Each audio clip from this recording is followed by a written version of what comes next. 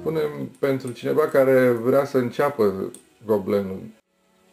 Unii își doresc foarte tare să aibă. Eu, de exemplu, am primit cadou la căsătoria mea un goblen și de acolo cred că mi-a venit ideea să lucrez și eu. Pentru începător se fac lucruri simple de tot. Simple, simple. Se găsesc în comerț. O floricică, una singură, mică, un cap de păsărică, un cap de animal care se lucrează mai ușor. Și cu foarte multă răbdare. Și pe urmă începi să ai pasiune și lucrezi mai mult și mai mult. Lucrând mult, vei deprinde meșteșugul ăsta. Știu că e contagios, adică în familie da. și Da, uh, pentru- eu- sora și nepoatele au început să lucreze. Da, da, pentru că le-au văzut la mine pe pereți și m-au rugat să le învăț și pe foarte multe lucruri am învățat de altfel. Cu mare plăcere. Îl faci primul, nu-ți place, îl faci al doilea, îți place, îți reușește. Cum știi să bagi acupe de desubt, de exemplu?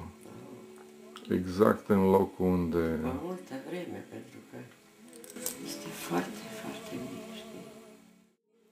Nu plânge nicio fată de aia când o înțepi? Nu curge degetul meu când îl înțep. Înainte era s- numai înțepături și bătătură, acum nu mai. Deci la început aveai bătături. Da, Și de câți ani lucrezi? 20. Adică intens de când am ieșit la pensie și înainte mai, dar foarte puțin puteam să fac, că trebuia un an întreg ca să termin o bucată. Mică. Spune-ne puțin despre istoria goblenului, de unde, a, de unde e originar, Primul care a lucrat a fost un bărbat și se pare că bărbații lucrează mai frumos decât femeile. Așa se spune și astăzi. Se numea Goblen și a înființat o manufactură teribilă în sudul Franței.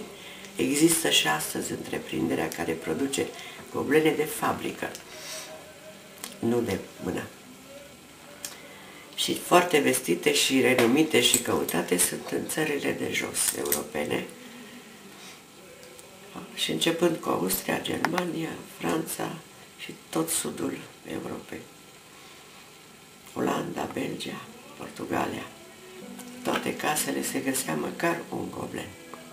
Acum, în lumea modernă, contemporană, care e viitorul goblenului? Numai, numai, am, numai cei pasionați de goblen. Nu știi că se adunau între ele și tot timpul lucrau ceva. La gherie, nu stăteau ca astăzi. Înainte toată lumea era cu... N-ai văzut toate filmele vechi? Acum am mai înregistrat cu prostia asta ca, ca bunica. Dar așa este. Este antistres goblenul. Asta trebuie să spui. Într-adevăr, cea mai bună metodă. Ce idei de înrămare ai? Adică cea, cea mai bună soluție pentru înrămare? Pentru rămare era- Fond, erau culori. ramele, ramele blondel înainte, clasicele rame colorite. Așa era stilul. Acum, modern, și la goblet pot fi orice fel de rame simple. Înainte nu se foloseau ramele simple la goblet.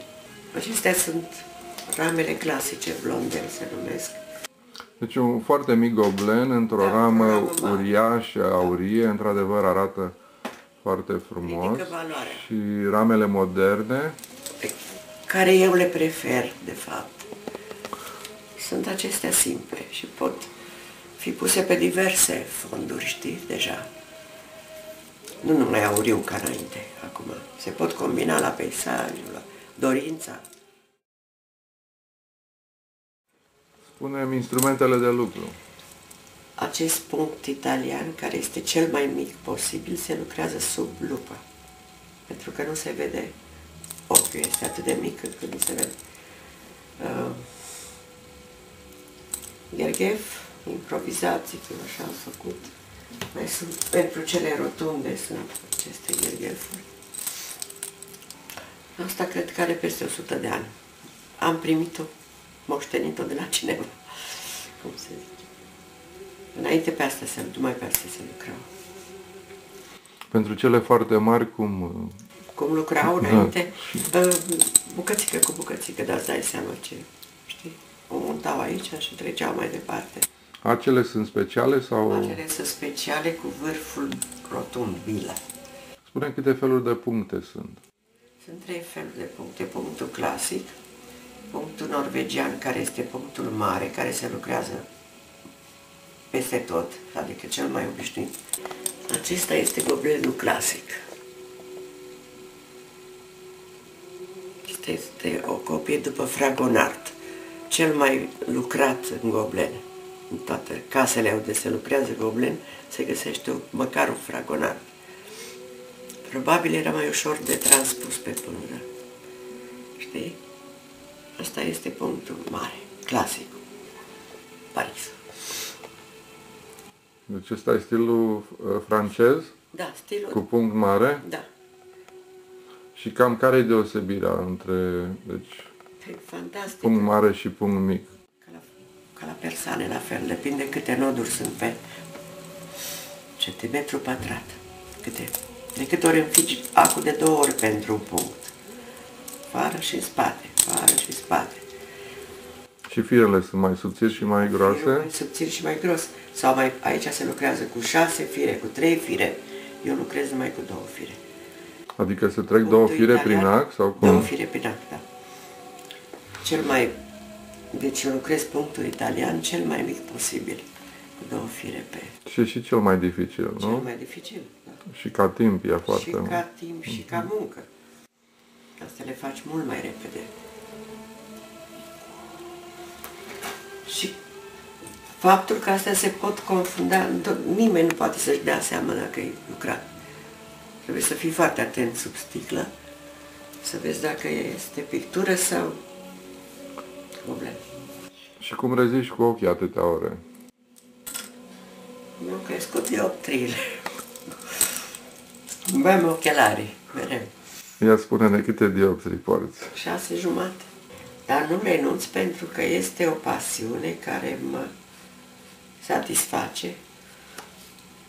Atunci când lucrez, uiți de boală, uiți de necazuri, cum Ești absolut absorbit de ceea ce faci este exact la fel ca pictura, aceeași treabă.